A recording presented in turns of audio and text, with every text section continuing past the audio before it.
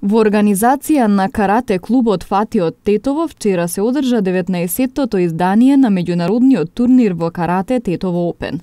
На турнирот настапија околу 400 каратисти од Македонија, Албанија, Србија, Косово, Црнагора и Бугарија.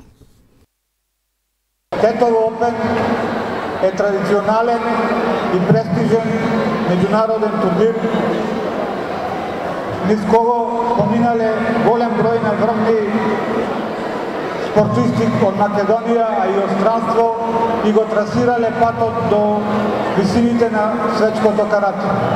Организаторот Карате клуб Пати предводен од тренерската легенда и директорот на репрезентација Армин Хусеини во сите овие години постигнува многу резултати со кои што се гордеева Карате Федерацијата на Македонија резултати како што се петкратен петкратен европски првак,